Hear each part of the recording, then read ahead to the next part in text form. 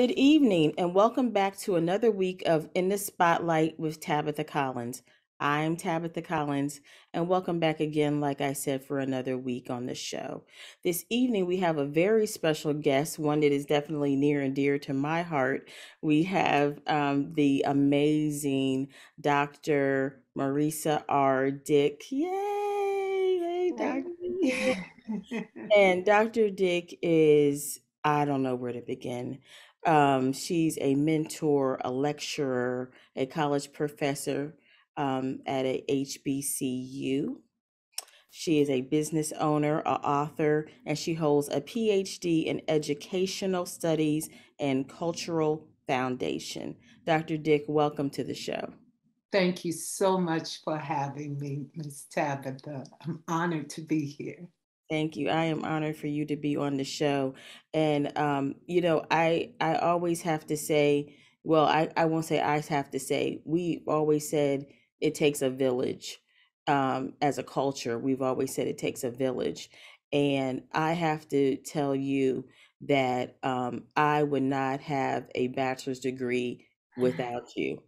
And she is the most amazing mentor um, audience. And it takes a village and she and she walked me through that and would not let me give up even when i did because um, maybe some of you don't know i was in college in the 90s we did the whole you know flunk out party out thing.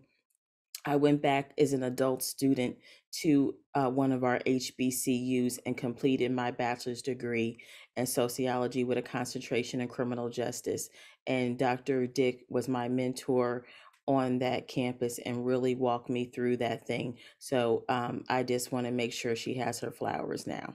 Oh, I appreciate it. But you did all the work. Excellent student. so, uh, another reason that we have this amazing woman on the show tonight is because, as you know, as a broadcast, we are always encouraging, empowering, and uh, educating our viewers uh, one at a time, week to week. Um, our theme this year is I'm trying. And um, Dr. Dick has several businesses outside of her regular job as a college professor. And I want to make sure that we highlight them so we can get um, her products in your hand, her services to you, um, and however that looks for you and your family. So, Dr. Dick, first of all, let's start off with um, let's rewind a little bit and tell us a little bit about you. Well, I am um, a very simple person that has a lot of passion for uh, helping others. Um, you know, I believe uh, in utilizing your gifts. Your gifts definitely make room for you.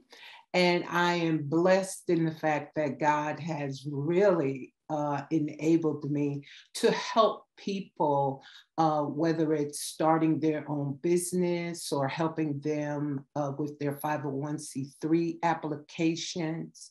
And students, I'm very, very passionate about college students, in particular, first generation college students who don't understand what campus life is about.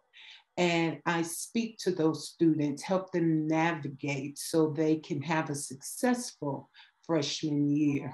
And then after I do all of that, I love to sit back with a good book. and fortunately, I actually enjoy my own book. and so they are uh, fantasy romance novels. And so in my downtime, I like to write as well. So I'm a very, um, not a cumbersome person, it's not a whole bunch to me, but I like to serve and give and share what I have. And and let's start there. Um, I have in 1998 you birthed the Nubian romance novels. They are uh, African American contemporary Christian sci-fi romance novels. Did y'all get that? They are African American contemporary Christian sci-fi romance novels and we're and and everybody's always you know you know where you know where's my husband at you know where's my you know you know we, as women you know just as our nature we love we, we love romance. And um, Dr. Dick, tell us about how that whole concept, you know, was birthed. And and please don't forget to hold up, share the books. Uh, we'll start with that. Okay, well, thank you. I first started uh, writing fantasy after uh, I divorced uh, over 20 years ago. So I've been writing for a while. So during that process, I needed something to do. And I had all this going on in my mind and in my heart. And I sat down and just started writing. And the characters came and I finished one book, and then that led to another book and another book. And actually, I was returning to school as an adult myself to receive my undergraduate degree. And it was in correcting my own paper, I kept saying, What is this? I could see this conversation in my homework. And I'm mm. like, This doesn't belong here. And so I would delete it. And then again, as I'm going through my papers, I'm still seeing these conversations. And I realized, oh my God, these are characters. And I just kept going from there. And before I knew, I was not consumed with the divorce. My life just kept on moving. And um, I just really believe God put them in my life to help me occupy my time and keep my mind straight, you know? Right. And, and so it really helped and and you know and and a, my best friend actually uh, wrote a book out of some of the same, same similar situations. Sometimes you know you know got to give you what you need when you need it. Mm-hmm. and and you know it not even as a distraction and and i guess what we go through is our ministry in so many mm-hmm. words so it's like you know now you're you're able to take that pain or however you were feeling after a situation and bless somebody else with you know the knowledge that you learned and gained from that situation you know in, in characters like yours was birthed into characters mm-hmm. so um do you want to share um some of what the the books look like Sure. Well, we'll this... tell everybody where to get yours at the end. We'll let you know where you can get it at the end. And when you contact her for a book, you might even get an autograph if you act right. well, certainly this book is entitled Angel Fire. Okay.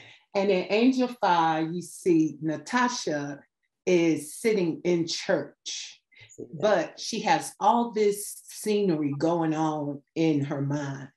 So, how many of us sitting in church listening to the word, but our minds have drifted off someplace else? Every for Nat- yes, for Natasha, she's in church praying to God for a husband mm-hmm. and she's fighting her flesh, you know?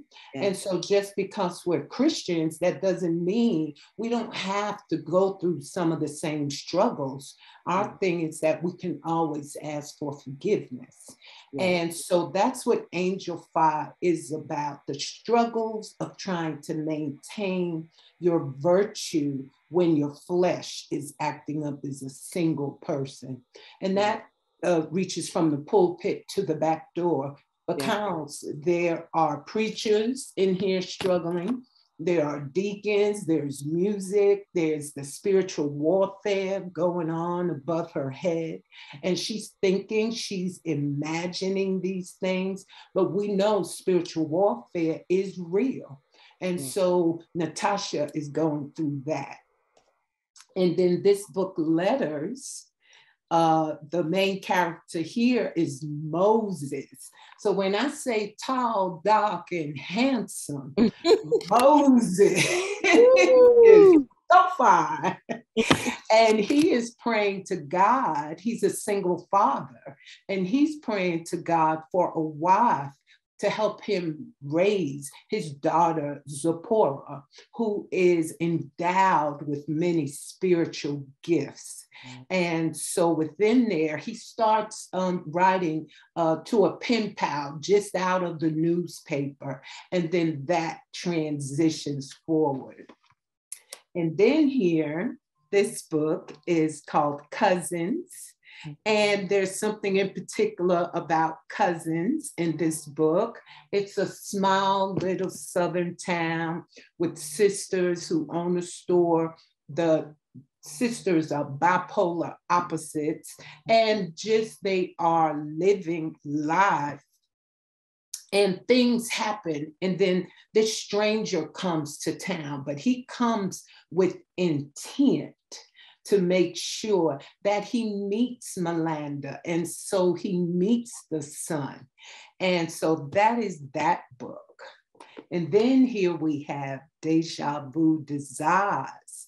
And in this book, this young lady, Davina, is uh, virtuous She's never been with um, anyone. And she's been praying to God as well for her husband.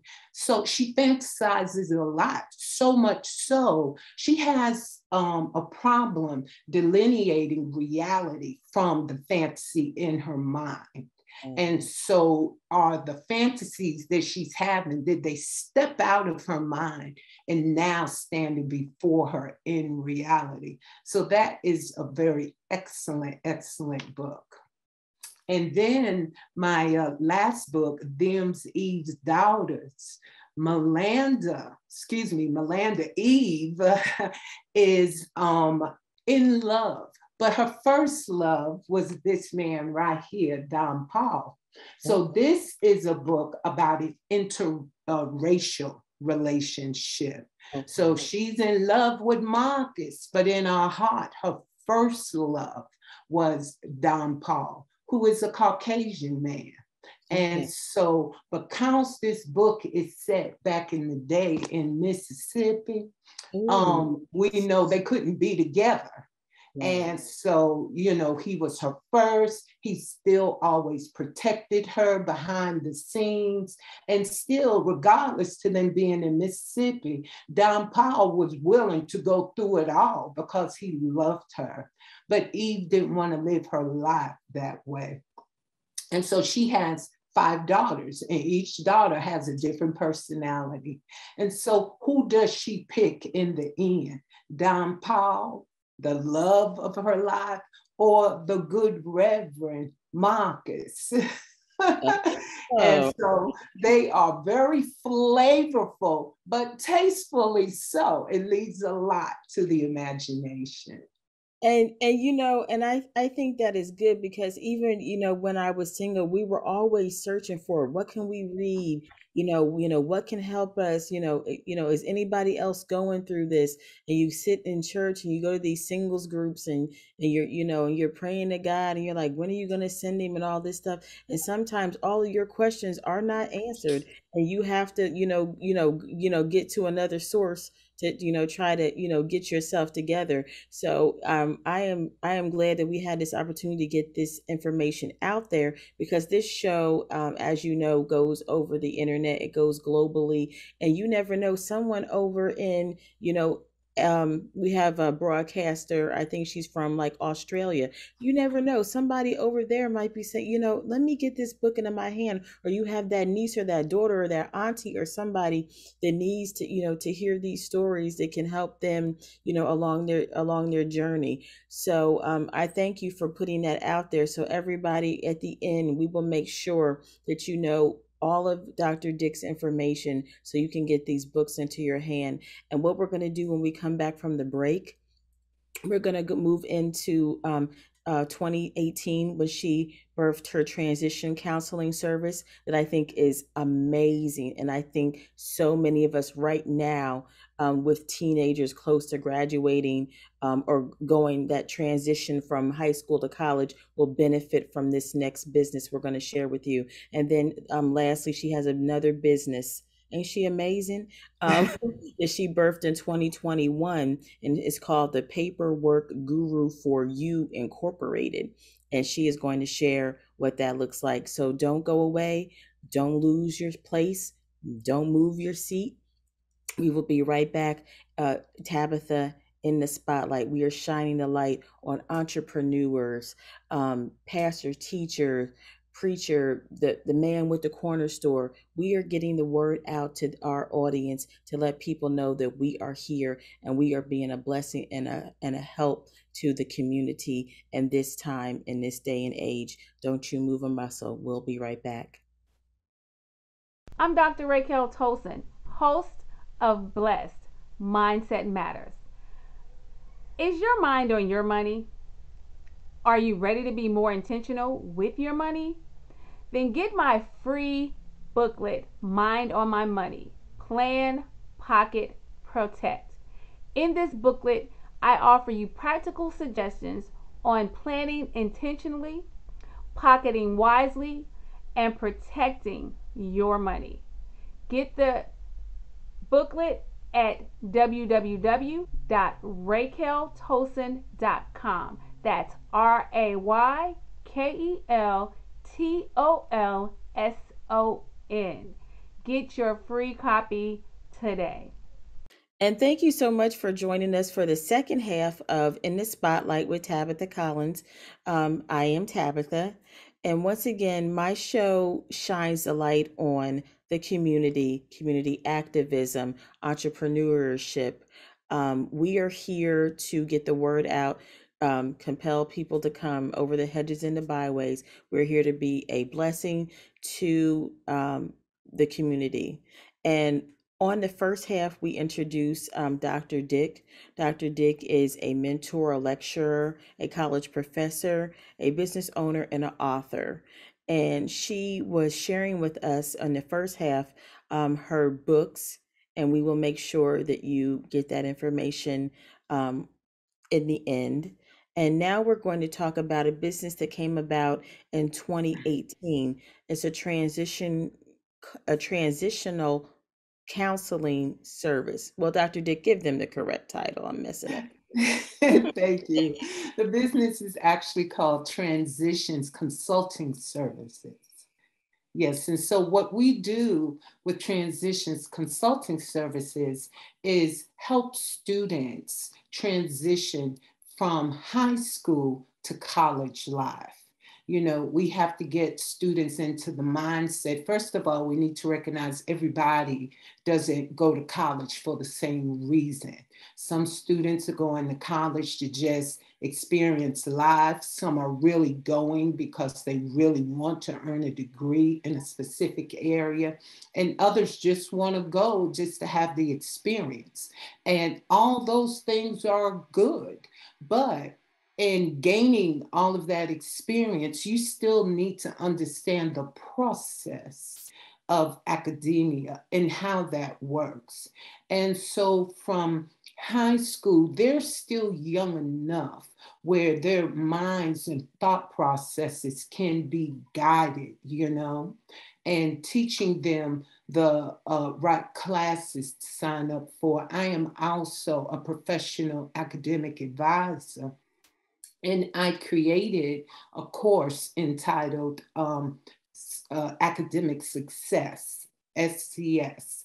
And so it's important for students to understand how their behavior impacts their academic career, how not studying, what time they select their classes, the events they participate in, and exactly how they are living their lives, as well as the activities that they participate in, should not overwhelm them. And they need to understand that this is students can come and earn a four year degree and move forward. You don't have to be there for five, six, seven, and eight years if you get in your mind, this is just for a season, you know? And so transitions, we help them along with that by offering counseling services, teaching them the uh, what to look out for, knowing your body. If you know you can't um, wake up for an eight o'clock class, well, then you need to register early. Take advantage of early registration because there's no need for you signing up for an eight o'clock class that you're never going to go to. Right. So, you know, we help students deal in reality, and it has been very successful. I have held this workshop at different churches, even spoken uh, to the Girl Scouts here in Greensboro about it. And I've had students just come back and say, oh my goodness, Dr. Dick, everything you shared with me, I already knew how to read syllabus. I already knew what to do.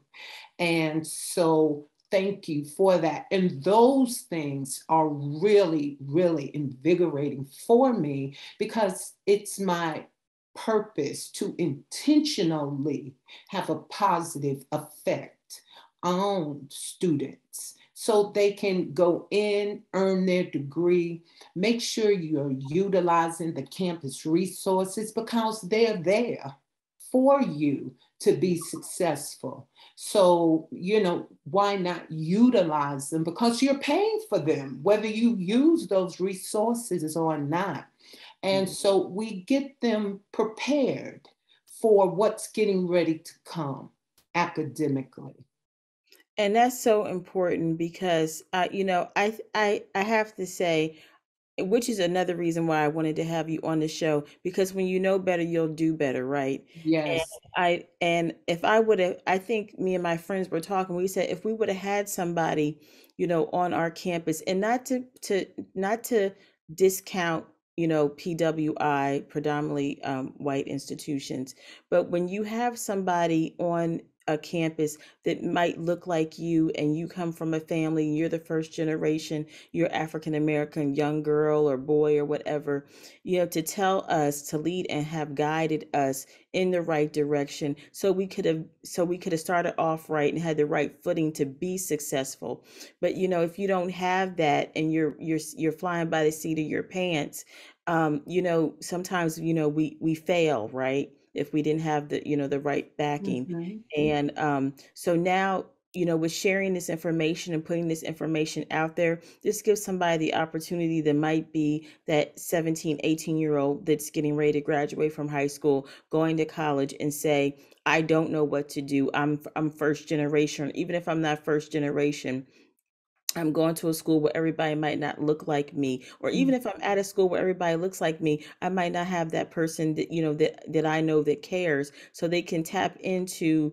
the transition consulting services and say, you know, I need that help, or their parent might say, can you help my child? You know, I don't know, I didn't go to college, so I think that it's so important to put this information out there because now this can help somebody else, and that is what my show is all about, shining the light on on on the sources that people can tap into to just be a blessing to help somebody else. If one person sees this show and they say this can help my child then it was worth it all right Exactly. So, I, so this so this is why this is so important. This this business, I was like, oh my God. And because I'm about to face this, you know, my daughter's only going to ninth grade, but when she gets ready, baby, I am definitely gonna call you because she is the one that thinks she already got it together. She already knows she's going to Hillman. Notice I said Hillman.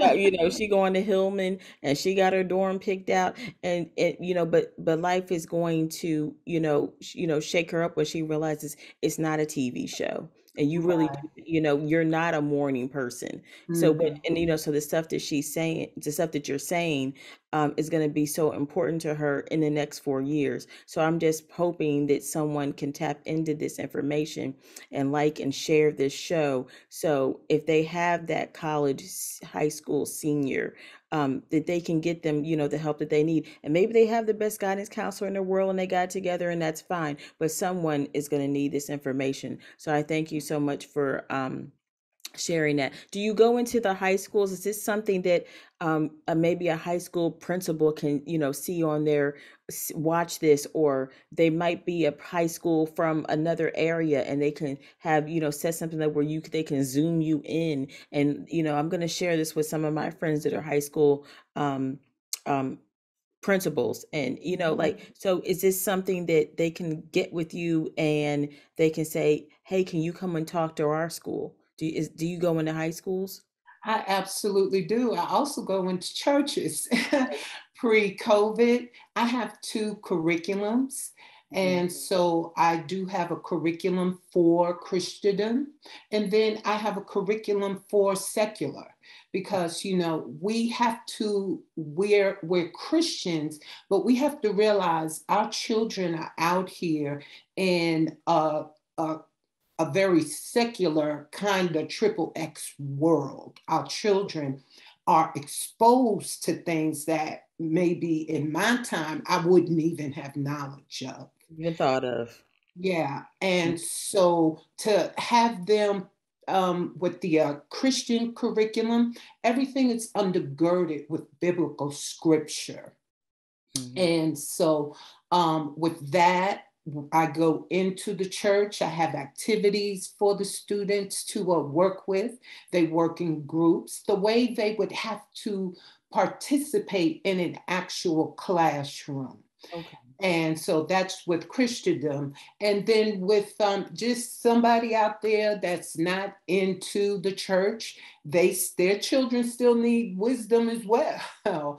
and things to look out for. So absolutely, I do go to high schools. I have done so, and I definitely go to churches and share transitions consulting services with them. Yeah, I'll definitely be tagging my uh my friends that are in um higher education because um you you you know you never know, you know, and um and look, I say all the time, I thank God that the 90s were not taped. Okay. Thank God you can't find no tape because we didn't have the internet. I mean, I'm sure everybody is happy about that. I said, I said the worst you can find is an old pager or a beeper or something. But you are, but you are so right. These kids have so much coming at them in yeah. real time in this generation, and you know, and even though, um, you know, everyone's not a Christian, different religions and yeah. you know and everything, and we we respect and love everyone's religion. You know that's exactly. their thing. Um, so it's good that you have two versions. So if anyone out there, you know, wants to you know invite you to come, they you know you can if you so choose, you can choose the regular standard secular version of her services so that's awesome as well. And um, just so time doesn't get away from us i want to also get into your your third business that you got into and um, you started in 2021 the paperwork guru for you incorporated. Can you elaborate on that and tell us the goals and um, what that looks like well, in a snapshot, the paperwork guru for you is I help other people who desire to own their own business, to become entrepreneurs. And so I started with one truck driver and he spread the word. So I do LLCs and corporations, but my niche really is uh, completing, helping churches receive their 501c3, completing their um, application packets for their nonprofit. And so that is um, very, very important for churches to have, community organizations, and the like. And so um, I've been doing it for well over 30 years. Oh, wow. And so I said, well, you know, I volunteered my services all over uh, North Carolina and outside for, um, you know, just trying to help. So I've poured into many, many uh, people and organizations. So I said, you know what? I can do this as a business. So that's how it all started. And, you know, it really started with word of mouth and just knowing the uh, different functions of um, administration because I am an administrator as well. Mm. Um, Dr. Dick, our theme this year at the station here at WYTV7 is I'm trying. Um, we are here to continue to educate, empower, and encourage our audience. How are you trying? What are you trying to do in this season? For me personally, Overall, oh, as a whole, yeah, like I'm trying because that that's the theme of the station this year, and we're asking all of our guests um, this season, um, what are they trying to do? Well, I'm trying to uh, actually uh, be um, and listen to my better angels. I'm trying to help people become better themselves by helping their dreams come true. I'm trying to help them flourish in their desires for entrepreneurship not they they have these gifts and they just don't know what to do or where to go. So in my efforts i make sure to guide them in the right direction. And i'm a person who stays in her lane. If someone comes to me and says dr dick can you help me? I have no knowledge of that but let me get you to someone who does. I'm trying to get students to be proactive and productive productive once they get in school. I want to prepare them for what's getting ready to come before they get there so their minds can be straight. I'm trying to utilize the skills that God enabled me to have to better other people, myself, and just my community at large. I mean, I really believe there's enough out here in this world for everyone. I'm not the only book author. Everybody has a book, everyone has been through something that they can write about. But how do you go about that process and achieving that and getting that book done? You know, so I try my best to share everything that I have with others. So simply because it has not maybe um, come to fruition for me, doesn't mean the knowledge that I have that I can pour into you won't make you blossom. So I want people to utilize their gifts and become and, and be who they believe they can be and who God has enabled them to be. They just need a little bit of help. Thank you so much for sharing that. And could you, um, lastly, we're, we're about to end out. Can you share how everyone can get in contact with you from uh, your books to the transition consulting to paperworks on down, how you can be reached? Okay, they can call 336 289 8119. And my um, website for the paperwork guru for you is www.thepaperworkguru, the number four and the letter u.com or um, at gmail.com. And then for the romance novels, it's nubianromance.com.